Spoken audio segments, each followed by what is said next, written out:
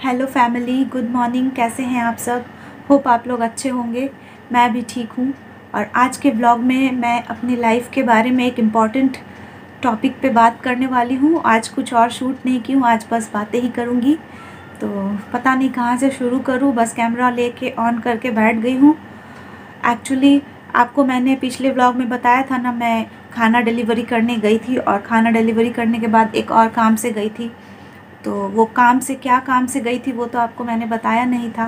तो आज के ब्लॉग में चलिए वही डिस्कस करते हैं कि क्या काम के बारे में गई थी और क्या था वो सब कुछ।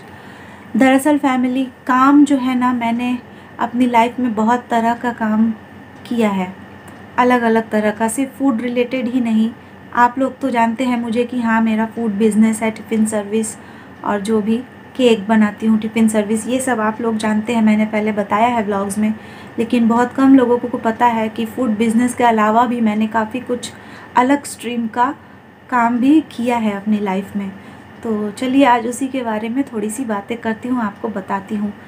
पीछे जाना मुझे पसंद नहीं है पास्ट लाइफ में लेकिन आ, आगे जाने से पहले मतलब फ्यूचर में क्या करूँगी वो बताने से पहले थोड़ा पीछे ही चलते हैं पास्ट लाइफ में।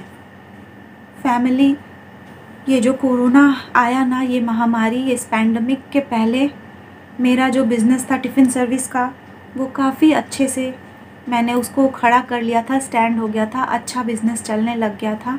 सब कुछ ठीक था स्मूथली चल रहा था, दिन भर काम, बहुत वर्कलोड था, बहुत काम था अर्निंग भी अच्छी थी।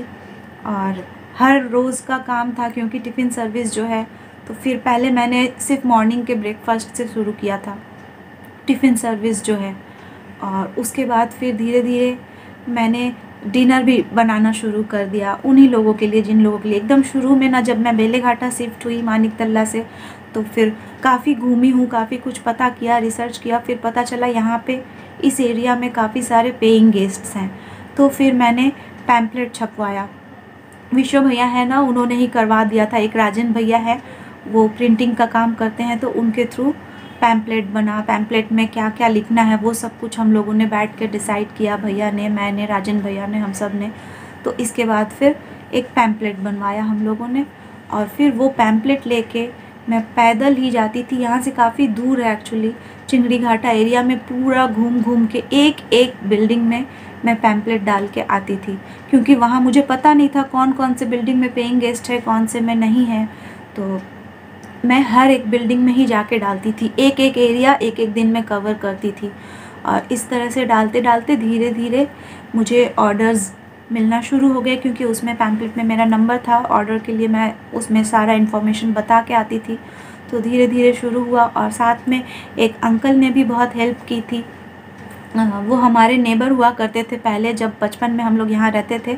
अभी भी उनका घर है नेबरहुड में, लेकिन वो लोग अब वहीं चिंगड़ी घाटा जो है, वो एरिया में रहने लग गए हैं। तो उन अंकल ने भी बहुत हेल्प किया, जो काकी है ना, हमारी जो आंटी, उन्होंने ही बात करवा दिया था अंकल से मिलके कि आपके एरिया में तो काफ़ी पेइंग गेस्ट है और इस तरह से सारिका जो है, वो टिफ़िन सर्विस शुरू करना चाहती है। तो अगर आप किसी तरह से कांटेक्ट करवा दें पेइंग गेस्ट लोगों के साथ तो बहुत अच्छा हो जाए।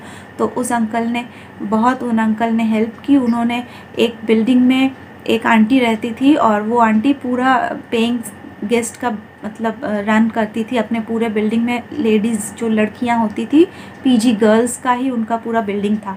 तो उसी अंकल ने जो मेरी बात उन आंटी से करवा दी मुलाकात। तो फिर एक बार मैं उन आंटी से मिली और फिर हम लोगों ने, हालाँकि काफ़ी कम में मुझे देना पड़ा। वो आंटी जो थी, वो बहुत सस्ते में खाना मांगती थी। तो पॉसिबल नहीं था तो फिर उन्होंने कहा कि खाना का क्वालिटी घटाओ, लेकिन कम में ही चाहिए, महँगा खाना नहीं चलेगा। अब मुझे शुरू तो करना था तो इसीलिए मैंने अब क्या करूँ, वो मोटा मोटा वाला चावल जो सस्ते में आएगा और एकदम पानी के जैसा पतला पतला दाल बनाती, ताकि उनके कॉस्टिंग में आ जाए। आई थिंक शायद तीस रुपये में या पच्चीस में, या इतना मिनिमम रेंज में पूरा थाली चाहिए, दाल, चावल, आलू भाजी और एक सब्ज़ी। तो इतना सारा आइटम 25 से 30 रुपए के अंदर उनको देना है।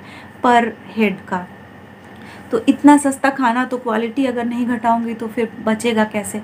तो फिर लो क्वालिटी का ही मैं शुरू की, एकदम पतला पतला दाल। लो क्वालिटी होने से क्या हुआ? अनहाइजीनिक नहीं था। बहुत नीटली बहुत जैसे घर का खाना बनता है, वैसे बनाती थी। बस चावल जो है वो सस्ता वाला लाती थी, दाल जो है वो पतला बनाती थी, इस तरह से।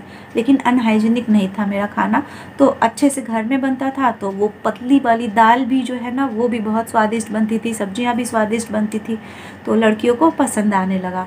तो फिर अब जैसे लड़की को पसंद, जो लड़की लोग को पसंद आने लगा तो फिर धीरे धीरे जो बिज़नेस है ग्रो होने लगा, वो एक दूसरे से कहने लगी कि सारिका दी से लो सारिका दी का खाना अच्छा है मेरा कॉन्टैक्ट नंबर वो लोग दे देती।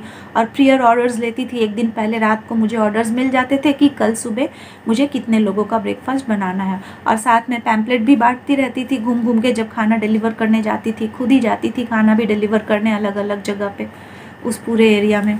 तो काफ़ी मेहनत लेकिन मेहनत था तो क्या हुआ? अर्निंग भी काफ़ी अच्छी होने लगी। फिर धीरे धीरे वो और ग्रो हुआ तो फिर हम लोगों ने ब्रेकफास्ट और डिनर के साथ साथ लंच भी शुरू किया। फिर काफ़ी प्रेशर होने लगा मुझ पर काम का क्योंकि पूरा काम ए टू जेड में खाना बनाना, सब्ज़ी जो ख़रीद के लाना और फिर डिलीवरी करने जाना, ये सब टोटल काम पहले मैं खुद ही करती थी। फिर जितना जैसे जैसे बढ़ता गया वर्कलोड तो वैसे काम का प्रेशर ज़्यादा होने लगा। फिर मैंने आंटी को भी अपने साथ ऐड किया और ऐसे करके फिर एक लड़के को मैंने रखा हायर किया कि वो डिलीवरी करके आएगा, उसे समझा दिया कैसे कैसे, कहाँ जाना है। तो फिर मेरा काम रह गया, खाली खाना बना के पैकिंग करना और रोटियाँ वगैरह मैं आंटी से ले लेती थी। आंटी को बनाने के लिए उसके उस हिसाब से पैसे उनको दे देती थी मतलब उनसे मैं ख़रीद लेती थी रोटियाँ और फिर उसमें थोड़ा सा अपना पचास पैसा एक रुपये पर रोटी रख के और मैं सेल करने लगी और बहुत अच्छी तरह से स्मूथली हमारा बिज़नेस चल रहा था। लेकिन फिर अनफॉर्चुनेटली ये आ गया कोरोना और पिछले दो साल से मतलब पूरी तरह से मेरा काम बंद हो गया। मैं यहाँ रही भी नहीं, माँ के घर चली गई थी। एक साल तो माँ के घर ही थी और फिर पैंडमिक ख़त्म तो हो चुका है, लेकिन अभी भी अगर मैं कहूँ तो फुल फ्लेज में मेरा काम शुरू नहीं हुआ है। बहुत स्लो चल रहा है। कभी कभार केक के ऑर्डर्स हैं, कभी नहीं भी है। भूले भटके से ही खाने का ऑर्डर मिल जाता और टिफ़िन सर्विस शुरू हो ही नहीं पा रहा है। क्योंकि फिर मैंने उस आंटी से कांटेक्ट किया था तो वो उनको फिर अभी भी वो ला, पहले वाला रेट में चाहिए दो तीन साल पहले वाला मतलब थर्टी रुपीज़ में, जो कि अभी पॉसिबल ही नहीं है। गैस इतना महँगा, हर कुछ महँगा, आप जानते हैं तो फिर कैसे दूँ? पॉसिबल नहीं है तो फिर शुरू नहीं हो पा रहा है। लेकिन घर पे ऐसे चुपचाप तो बैठ नहीं सकती। हाँ मेरे पास सेविंग्स कुछ थी पहले जो मैं काम सब करी थी, खड़गपुर में रहने के दौरान काफ़ी काम की थी तो उसके लिए मुझे कुछ सेविंग्स थी। अब लेकिन सेविंग्स जितनी भी थी, उससे दो साल, तीन साल चला यहाँ जो काम बंद था। पर कुबेर का ख़जाना तो है नहीं, वो धीरे धीरे ख़त्म तो होगा और वो सेविंग्स ख़त्म हो जाएँगी, तब क्या करूँगी? इसीलिए अभी फिर से कुछ नया तो शुरू करना बहुत ज़रूरी हो गया है मेरे लिए। तो उसी के चक्कर में मैं थोड़ा कुछ फिर से रिसर्च करने के लिए ही वहाँ गई थी सॉल्ट लेक कि कैसे क्या किया जाए कुछ फिर से स्टार्टअप तो उसी चक्कर में गई थी और फिर से जाऊँगी और आप लोग तो व्लॉग में मेरे साथ जुड़े हुए हैं ही। तो आगे जो भी होता जाएगा वो सब आप लोग व्लॉग में देखते ही जाएँगे। आ, काम जैसा भी हो बस काम होना चाहिए अर्निंग होनी चाहिए और गलत तरीका ना हो कोई गलत वे में पैसे नहीं अर्न करो बस बाकी मैं नहीं समझती कि कोई भी काम छोटा है। काम छोटा का अगर आप सुनेंगे तो आपको सुन के शायद अचरज भी होगा। मैंने ऐसा भी किया है कि जो बस्ती या बस्ती में आपने देखा है ना चूड़ी वाले और वो सब जा जा के बस्तियों में बेचते हैं। तो वो सब भी मैं कर चुकी हूँ अपनी लाइफ में, क्योंकि पैसे की ज़रूरत थी और जब कुछ नहीं सूझ रहा था तो करना पड़ा था। एक टाइम ऐसा था, मैं दो दो रुपए का रबर बैंड, क्लच, पाँच रुपए की नेल पॉलिश, एकदम सस्ता वाला जो बस्तियों में चल जाए, वो सब मैं बस्तियों में घूम घूम के भी बेची हूँ खड़गपुर में। ज़रूरत था पैसे का, क्या करूँ? बच्चे को भूखा तो नहीं रख सकती? तो किया है मैंने इतना सब भी। काफ़ी कुछ किया है, मेहंदी क्लासेस की हूँ, साड़ी ड्रिपिंग हेयर स्टाइल वो सब घर से करती थी। इसके बाद फिर रेंट में एक शॉप लिया। वहाँ थोड़ा बहुत खाना का काम किया और फिर साथ ही साथ मोलू है ना, छोटा भाई, उसके साथ बागड़ी मार्केट जाके वहाँ से होल सेल में ये जो वुमेन नेसेसरीज़ होती है, ये झुमका, झुमकी नेल पॉलिश बिंदी, चूड़ी क्लचेज़ ये सब ख़रीद के लेके आती थी और वो सब भी शॉप में रख के बेचती थी। तो अब होता ये था कि शॉप में जो जो अच्छी वाली पीसेज है, जैसे वहाँ तो डज़न के हिसाब से आपको लेना होता है तो डज़न में बहुत सारे डिफरेंट कलर्स के क्लिप हैं सपोज़ तो जो अच्छे अच्छे क्लिप्स है वो कलर वो तो बिक जाएँगे, लेकिन दो चार ऐसे भी होते हैं जिनकी कलर्स अच्छी नहीं होती है तो वो पड़ी रह जाती थी। तो इस तरह से लॉस होने लग जाता था। तो फिर मैंने सोचा कि ये सबको भी मैं वेस्ट नहीं जाने दूँगी इस तरह से। तो इसको क्या किया जाए? तो फिर मेरी एक मेड थी, उसने मुझे कहा कि, दीदी, चलो आप ये सारा कुछ लेके हम लोग जहाँ बस्ती में रहते वहाँ पे ये सब बिक जाएगा। क्योंकि बस्ती के लोग जो है ना, वो आपकी शॉप में आएँगे नहीं। बड़ी शॉप में वो लोग आने में हेजिटेट होता है उन्हें। तो अगर आप ये सब लेके जाएँगी तो वहाँ ज़रूर बिक जाएगा। तो नुकसान ना हो जाए इसलिए मैंने कुछ टाइम तक ये भी किया है कि सारा बैग में भर के जाके बस्तियों में बेच बेच के आती थी। तो काम कोई भी छोटा नहीं होता है मेहनत करके अगर किया जाए। खैर तो उसी बारे में मैं कल भी गई थी सॉल्ट लेक थोड़ा सा देखने ऑफकोर्स फ़ूड रिलेटेड ही करूँगी इस बार जो करूँगी।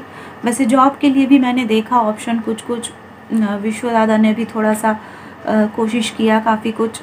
लेकिन जॉब में जो है ना, मैं देख रही हूँ, अगर टेन थाउज़ेंड मुझे जॉब में सैलरी मिलेगी, ऐसा हो रहा है तो फिर जब तक मैं यहाँ से घर घर से जाना, आना, जो ट्रैवल ऑटो फेयर ये सभी मतलब तीन हज़ार ऐसा लग जाएगा ढाई तीन हज़ार।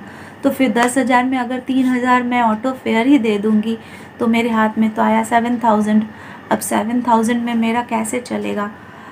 खर्च बहुत ज़्यादा है, आदि स्कूल में पढ़ता है, उसकी पढ़ाई, उसके टीचर की फ़ीस, उसकी कार, पूल, खाना, पीना काफ़ी सारा खर्च है तो सात हज़ार में तो हो नहीं पाएगा। तो मुझे ज़्यादा पैसे की ज़रूरत है और सेविंग्स भी ख़त्म हो जा रही, दो साल से बैठ के सोचिए हम लोग खा रहे कोई उस तरह से इनकम नहीं।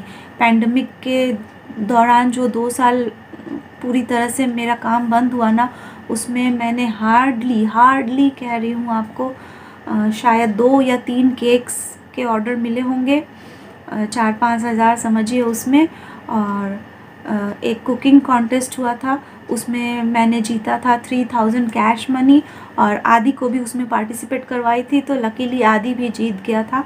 तो उसे भी थ्री थाउज़ेंड मतलब सिक्स थाउज़ेंड इधर और समझिए चार पाँच हज़ार केक का। बस दो साल में सिर्फ़ पंद्रह हज़ार मेरी अर्निंग हुई और बाकी पूरा टाइम मैं खाली बैठी थी, जो मेरी सेविंग्स थी, उससे ही गुजारा हुआ। लेकिन ऐसा कब तक चलेगा, कुछ तो करना होगा।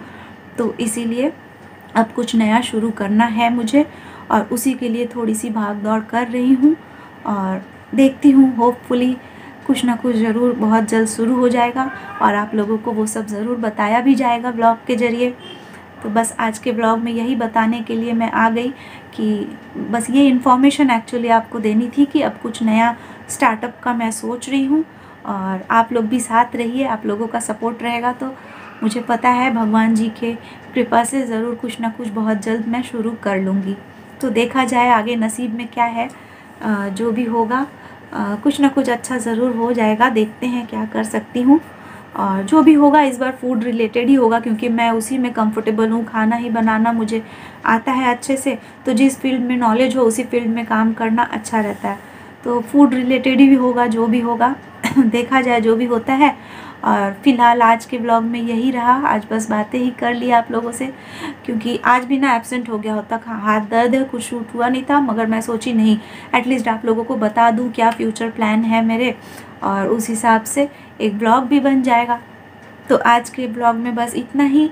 और फिर कल मिलेंगे एक नए ब्लॉग के साथ। कल माँ को लेके जाना है बाज़ार। राखी की शॉपिंग के लिए तो वो सब ब्लॉग में होगा, ज़रूर देखिएगा। और आज का ब्लॉग अच्छा लगा हो तो ब्लॉग पे एक लाइक कर दीजिए शेयर कीजिएगा ज़्यादा से ज़्यादा, और न्यू व्यूअर्स से रिक्वेस्ट है चैनल को सब्सक्राइब कर लीजिए, साथ में बेल आइकन भी प्रेस कर दीजिएगा, ताकि जब भी मैं वीडियो डालूँगी तो आप लोगों को नोटिफिकेशन मिला करेगी। तो आज के लिए बस इतना ही, मिलते हैं फिर से कल एक नए ब्लॉग के साथ, तब तक के लिए टाटा।